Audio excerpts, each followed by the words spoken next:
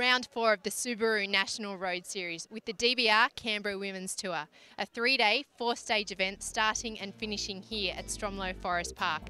And it's no easy tour with plenty of climbs. These are the roads that Team Sky rider Michael Rogers uses for training.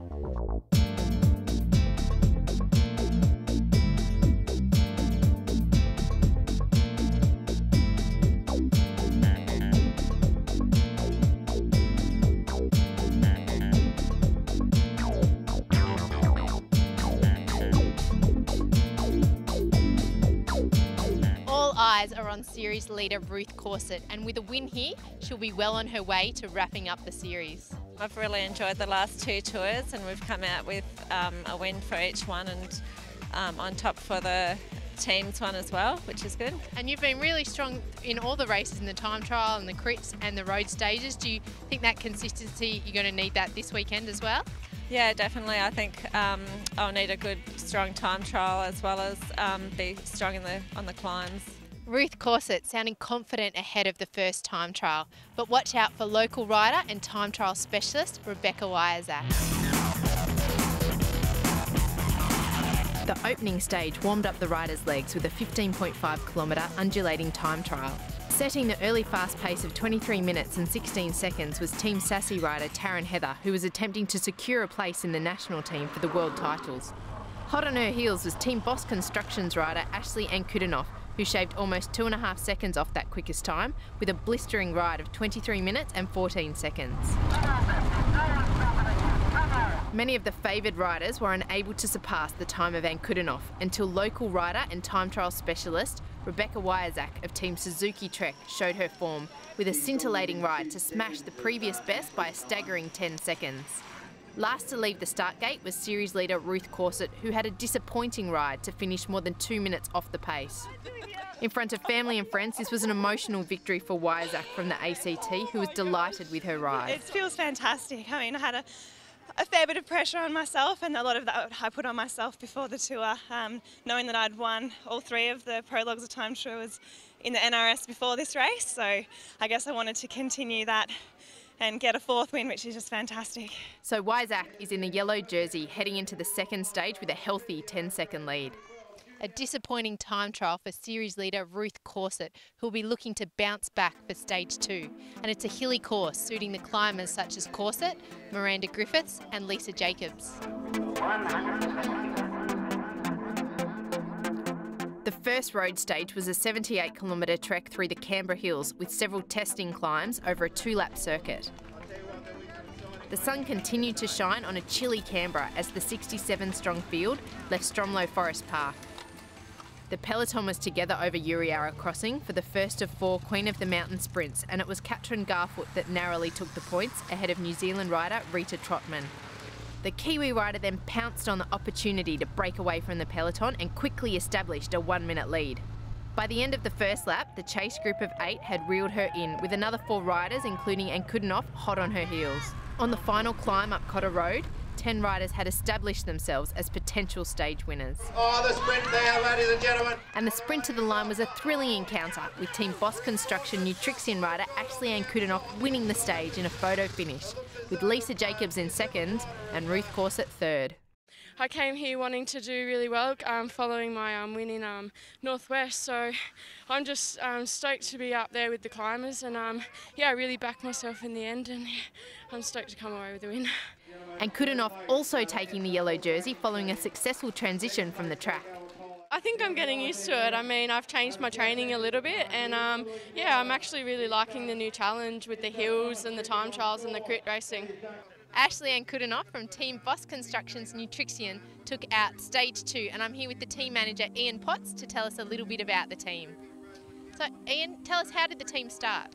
Well, Nat, the uh, team started, it's only a new team this year in the NRS. Um, last year, we got a call up from the Nutrixxion uh, Pro team in Germany, and they asked if we had any riders we knew of to put forward uh, for their team. Uh, at the time, we didn't, but uh, as a result, it's kind of grown from that first question to actually um, uh, start a team in the NRS for women to specifically with the goal to try to get young riders over to Germany to race with the actual pro team over there. And what were your goals when you started the team for your first NRS series?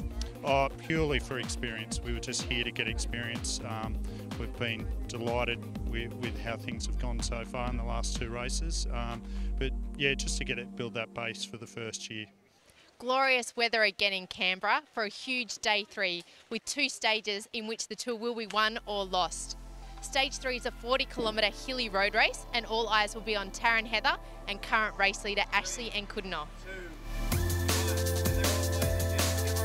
A good crowd was again on hand as the women rolled out in the Canberra sun. The first Queen of the Mountain was at 16.6 kilometres and a group of six riders had broken away, led by Katrin Garfoot, who took the points. Leading the group who were chasing hard was tour leader Ankudinoff, who was trying to close the gap and hold on to the yellow jersey. The second Queen of the Mountain was convincingly won by Ruth Corset, who looked in a determined mood to claw back valuable time. As the lead group approached the finish at Stromlo Forest Park, it was all set up for a thrilling sprint finish. Oh, they're trying to do the best as they can, and it's, I think it's Reta Trotman going around the around the front. Katrin Garfoot from Team Pensar Hawk proved too strong for the rest of the bunch to claim the stage. Oh, Ruth did a lot of work. That was good. The pack really worked together really well, and um, uh, thanks thanks to the girls who worked together in the last case. That that was really great. Finishing in the lead bunch was Taryn Heather, who did enough to take the lead in the GC. Nothing's easy, um, but I've got a couple of good teammates who are going to be working hard this afternoon to defend the yellow, so that'll be good. After a GC shake-up in stage three, which saw sassy rider Taryn Heather take the overall lead, the stage is set for a thrilling finale.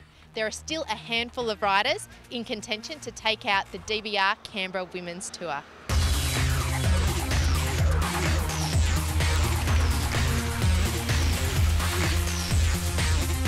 The tour culminated with a 40 minute plus three lap criterium around the purpose built course at Stromlo Forest Park. Although a few riders attempted a breakaway, no one was able to escape the pace of the peloton. With two laps to go, Sarah Roy continued her pace at the head of the pack, setting up a bunch sprint finish.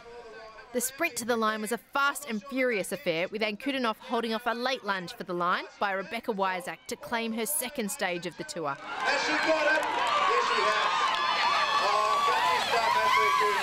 Wow, it was um, a bit, little bit unexpected. I caught, I got caught in the back a few times, but um, I, in the last couple of laps, um, Sarah Roy was on the front, and um, she really um, pulled me through. Um, and then I was just able to counter on top of everything that went past. And in coming into the last 200, I just had to back myself and knew I could sprint from any distance. So uh, yeah, it was really close in the end. I didn't think I got it, but um, yeah, I'm really happy to finish off the tour on a good note.